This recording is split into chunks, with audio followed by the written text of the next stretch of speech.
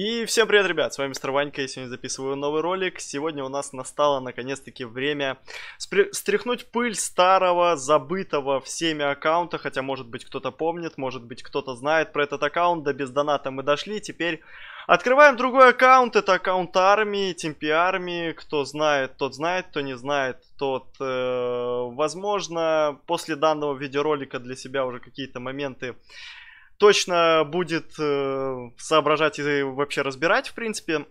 Это аккаунт э, с довольно уникальным вооружением. Э, у меня, как оказалось в последнее время, теперь имеется пару-тройку аккаунтов, на которых на таких званиях, как капитан, есть интересные вооружения, которые мы вместе с вами можем тестить, э, рассматривать, полноценно прокачивать, превращать в что-то в рубрики, да, возможно, что-то вас будет интересовать больше, что-то меньше, но в общем и целом я хочу их возродить, хочу преподнести для вас эти аккаунты. Все же, когда я забросил их, э, аудитория канала была значительно меньше, и я уверен, что более половины тех ребят, которые сейчас смотрят видеоролики, про эти аккаунты вообще вовсе не знает. Э, что у нас здесь уникального вообще на этом аккаунте имеется? У нас имеется 3 М3 пушки, это фриз, страйкер и рельса. Также имеется корпус МК7 или М3, также хорек. Плюс резисты МК5 по 25 получается, стоковые, да, здесь уже они немножко тут прокачаны, есть э, два реза тут по 15, но в общем и целом это все было куплено комплектами, я выкачивал определенно это вооружение, и в итоге оно было М2 фул качанное, стало М3 полноценное, и теперь у меня вот имеются такие вот интересные аккаунты, которые я могу вместе с вами э, потестировать, поиграть, записать игровые видеоролики, я лишь вам скажу одну вещь, если вам интересен данный аккаунт, да, без доната, понятное дело, уже там э, активность нереальная была, я буду его продвигать, буду прокачивать, буду записывать видосы. Если вам интересен вот именно этот аккаунт, то есть полноценно, это, наверное, аккаунт, э, на котором я бы хотел бы прокачивать именно Хорната рельсу, не что-либо другое, да, там фриз можно было бы, можно было бы страйкер, но эти все вооружения, по сути, у нас довольно стандартные, а вот рельса, при том раскладе то, что у меня здесь имеется всего лишь одно устройство, это устройство на дестабилизацию, у меня нет ни одного такого ака, поэтому я хотел бы продвигать данное вооружение. Если вам интересен данный аккаунт, то давайте под этим видеороликом наберем 200 лайков. Если 200 лайков набирается, я записываю следующий видеоролик по данному аккаунту. Если же нет, то я откладываю этот аккаунт и про него, по сути, забываю. И больше он мне как бы не будет вообще никогда, наверное, интересен. Ну, либо же там, может, опять же, там через полгода я на него зайду и опять что-то там сделаю, прокачаю и все. Поэтому по вооружению вам сказал, исключительно Hornet рельса, не хочу я здесь э, катать на других вооружениях, да, то есть это будет проще и фриз, и Страйкер это более удобное вооружение. Вот Hornet рельса это что-то уникальное, что-то интересное. Поэтому сегодня на этом вооружении скатаем две полноценные матчмейкинговые катки. Ну и посмотрим, что у нас вообще в этом плане получится. Скатаем мы, дабы выполнить заданки, контроль точек, значит, и захват флага. Начнем, я думаю, что с флажков. Я, честно говоря, не знаю, насколько данное вооружение будет актуально на капитане. Мне кажется, что от него довольно большое количество резистов в матчмейкинге будет. Но, в общем и целом, я буду надеяться на то, то, что это будет не такой большой проблемой. Все-таки у меня рельса на дестабилизацию. И, по сути, нагибать противника я с данным вооружением полноценно, как я думаю, могу. Карту пикает не самую лучшую. Это Вольфенштейн. По званиям все примерно так же, как и мое звание, да, то есть все совпадает, капитанчик у нас здесь имеется. Единственная, наверное, проблема, что здесь на этом аккаунте нет никакого дрона, поэтому немножко игра будет потяжелее складываться, но я буду надеяться на то, что я смогу здесь вообще хотя бы увести пару-тройку флажков, да, и то, что будет хотя бы какой-то шанс на победку, все-таки это Вольфенштейн. На Вольфенштейне, как вы... Ой, зачем я рейсу выдавал по нулю урона? На Вольфенштейне, как вы знаете, не все так просто, а еще если я играю на Хорн на этой рельсе. Сейчас в полете, конечно, хорошую рельсу мог бы выдать, но я все забываю про вот эти вот замечательные 0 урона. И моментами, конечно, это играет свою очень важную роль. До нового звания здесь на аккаунте осталось всего лишь 8000. Поэтому, если я буду играть на нем, то звонка довольно быстро начнет расти.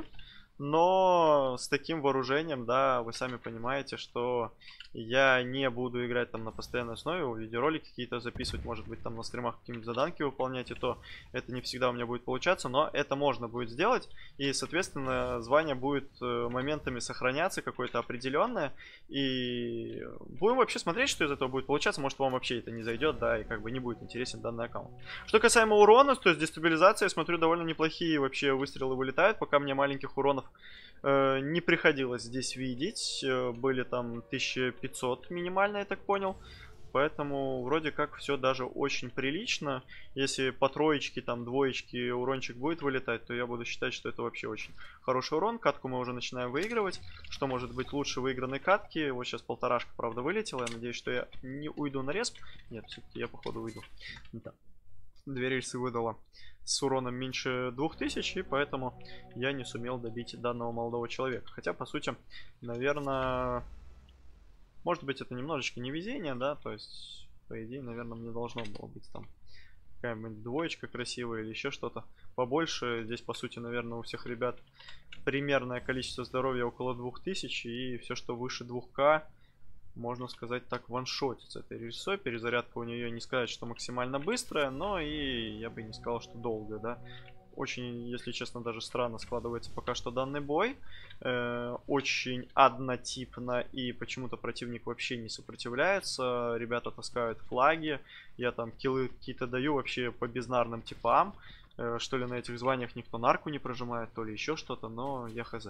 Пока все как-то очень однотипно, скучно, и я бы даже, наверное, сказал неинтересно. Первое свое место я, конечно, здесь попытаюсь забрать, как мы всегда играем на первое место и на победку, но в общем и целом я, честно говоря, не совсем рад и доволен тем, что на таких званиях сейчас ребята играют э, без нарки, да, то есть я сейчас, конечно, не успеваю здесь, но играть без нарки на таких званиях это что-то как-то даже удивительно. Я не вижу вообще типов, которые сопротивляются. Вроде как у меня тиммейты что-то стараются, но противник это просто какая-то ГГшечка, я бы, наверное, сказал так. Урон хороший залетает по троечке красивый. То есть, ну, вообще просто сидеть, знаете, так чисто на чиле ваншотить там, э, продвигать ту же рельсу, да, на которой я мало играю, как у меня, например, есть аккаунт Чипердейла, только с шафтом, а тут только с рельсой, да, то есть пушки, на которых я на постоянной основе вообще довольно редко играю и довольно мало играю. То есть на таких пушках я думаю, что вам даже тоже будет интересно посмотреть. Но это лишь мое мнение, возможно, оно не совпадает с вашим. Поэтому после данного видеоролика мы свой определенный анализ, конечно же, проведем. Посмотрим, какой там будет фидбэк. Если зайдет, то будем катать, потому что в свое время я покупая здесь дестабилизацию, и когда дестабилизация наносила, если я не ошибаюсь, даже больше урона, Э, все выглядело максимально круто, максимально четко, хотя и сейчас бы сказал бы, что дестабилизация довольно большое количество урона наносит, и практически все танки тут уходят ваншотом, но ладно, тут они как бы играют практически все без ДАшек, то есть без расходки. Если бы они, конечно, и с расходкой играли, то я все равно думаю, что ничего бы там кардинально бы не изменилось. То есть я бы все равно бы э, наносил довольно большое количество урона, уничтожал бы противника и, соответственно, забирал бы свои первые строчки в табе и получал бы как бы звездочки, да, если бы они мне были бы, конечно, нужны.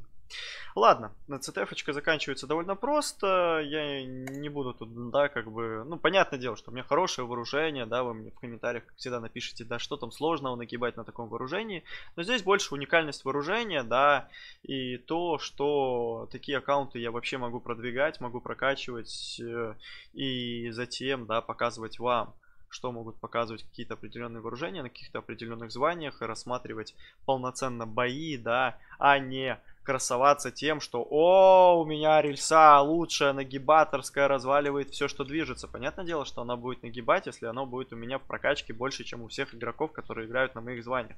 Это же, ну, никто с этим даже не спорит. Просто здесь идет акцент немножко на другие моменты. На то, чтобы вообще все это дело популяризировать и продвигать. Ну и заодно, конечно же, следить, что вообще происходит в боях на таких званиях. Я вот, например, не думал, то, что я зайду сейчас на такие звания и увижу игроков, которые даже не прожимают нарку. То есть они играют без расходки. Они играют на слабых вооружениях, как боты, я бы сказал так, потому что, ну, Серьезно, если челик играет с приваренной башней без нарки, то как я могу, вообще могу полноценно охарактеризовать данного игрока? Скорее всего, он играет либо с телефона, либо он абсолютно не заинтересован в игре, либо это просто какой-то аккаунт, который там, знаете, где-то куплен. Ну, я, конечно, шучу, но ну, полноценно вы понимаете, да, о чем речь идет. То есть игрок не сам набивал это себе звание, и, соответственно, он в этой игре не рубит вообще абсолютно никакую фишку, да. У меня такое впечатление складывается, потому что, ну, пикать в такие бои, когда я могу вот так вот просто стоять, знаете, да, на вражеском респе, и меня там раз в год кто-то стреляет, э, у меня всякие мысли сразу в голове начинают прокрадываться о том, что, блин, я серьезно играю на капитанах, или я играю где-то там на новобранцах, или там на каких-то э, первых сержантах, потому что, ну, как-то это очень странно, максимально, когда сопротивления никакого, вооружение у противников, даже если и есть более-менее нормальное, но они не играют на этом вооружении так, дабы быть полезным вообще в бою дабы приносить пользу своей команде и пытаться вообще выигрывать, зарабатывать опыт и как-то прокачиваться, да, то есть если вот такие вот ребята будут на постоянной основе играть в матчмейкинге на этих званиях, то я вообще не знаю, что в игре будет в ближайшее время, да, то есть понятное дело, что если я буду заходить и откладывать еще этот аккаунт на какое-то более длительное время, то затем я буду заходить в эти бои и видеть здесь не М2 вооружение, а буду видеть здесь М1 вооружение, некачанные, да, абсолютно, и просто играя на таком вооружении буду говорить будут мне говорить, что я тупой донатер, который просто задонил на ак, и поэтому имею такое хорошее вооружение. Ладно, у нас падает контейнер. Давайте я попробую его все-таки поймать. Не знаю, получится у меня это сделать, не получится.